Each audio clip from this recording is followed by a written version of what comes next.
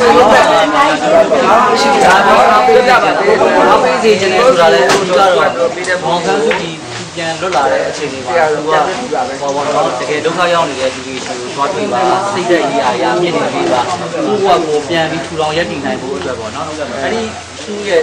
ဆန္ဒကိုကျွန်တော်တို့ကသင်ထားပြီးဖြည့်ဖြည့်ပေးတာပေါ့နော်ကျွန်တော်တို့ဒီ ရန်ကြောင်ပရိသတ်ကြီးလေးကတော့လူမှုဝန်ထမ်းဌာနရဲ့လက်အောက်မှာရှိပါတယ်။နိုင်ငံတော်အစိုးရကမျိုးမျိုးရဲ့ခဏကိုဆယ်လေးတာပါတယ်ကျွန်တော်တို့အချင်းပြန်ဆောက်ရှောက်တယ်ဟောစေကန်းနေပို့ပေးနေကြတဲ့ကအကြောင်းမှလေပတ်နေတဲ့ခြားယောဂအကြောင်းပြပြတာလေနော်ဥဒမာလည်းဒါကုကု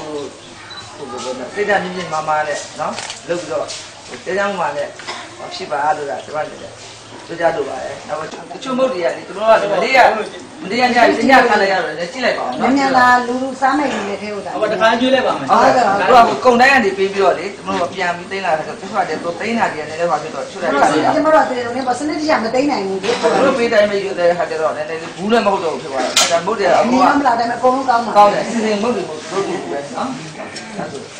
အဲဆိုအဲတော့သူ့ပေါ်နော်အဲ့ဒီလက်ကြည့်အောင်လေအဲဒီလက်ကြည့်မှာလေးဆောင်လေးပါကျွန်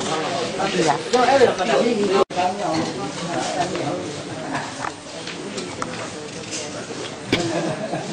ဆယ်ဟန်နေရှိဆယ်တန်းလေးအောင်ရှိပါလားလို့ဟုတ်အကြည့်မပို့လို့ဒီနားလေးကြောက်နေရဟုတ်ကျောင်းသားဒီမှာဘယ်နှစ်ယောက်လောက်ရှိလဲဦးကြီးဒီရတော့ရှိရတယ်ဟုတ်ဒီ ရတော့ငါတော့အများကြီးပဲအများကြီးတော့မှရ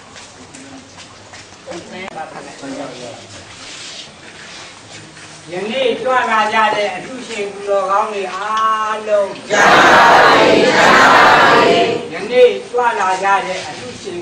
သူတော်ကောင်းတွေအားလုံးကျမ်းပါပါဘုရားယနေ့ကြွလာကြတဲ့အထုရှင်သူတော်ကောင်းတွေအားလုံးကျမ်းပါပါဘုရားအသက်ရာကျော်ရှိပါလေအသ က်ရာကျော်ရှိပါလေအသက်ရာကျော်ရှိပါလေကျမ်းမာလို့ချမ်းသာပါစေကျမ်းတဲ့အောင်လို့လည်းထောင်တိုင်းရောက်ပါစေဘေးကင်းရန်ကင်းပါစေလို့ကျွန်တော်မိသားစု